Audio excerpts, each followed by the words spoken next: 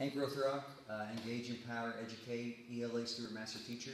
Um, we're talking to Miss Leece today about teacher versus student. She's going to share some thoughts she has on that.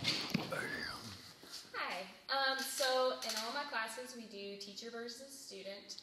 Um, I really enjoy it because I have such huge classes, and last year I did individual uh, rewards, and that got to be a little tedious. So Mr. Rothrock introduced me to teacher versus student, and now I love it and use it in all of my classes. I have my teacher versus student board over there. Um, I also have on my board like checks if they beat me for the day and X's if they don't. Uh, the incentive is three out of five days. If they beat me, they get 10 minutes of talk time at the end on Friday.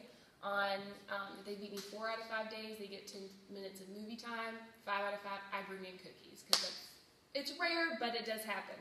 Um, so it makes them accountable for each other, and and since we're a team in choir, it helps get everyone to be responsible for their own actions. So that's where I, I really like teacher versus student.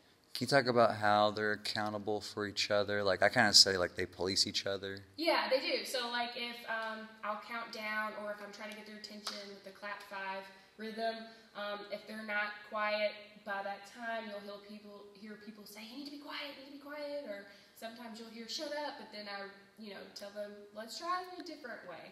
And uh, that usually really works because then if they have multiple people telling them, they'll start to be quiet or follow directions. So, yeah. Okay, right on. Do you know the uh, school vision? We will grow straight out of novice, or is that last year?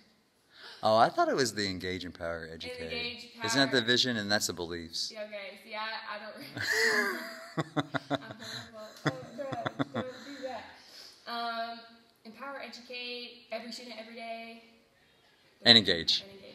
Yeah. Perfect. Stuart Academy.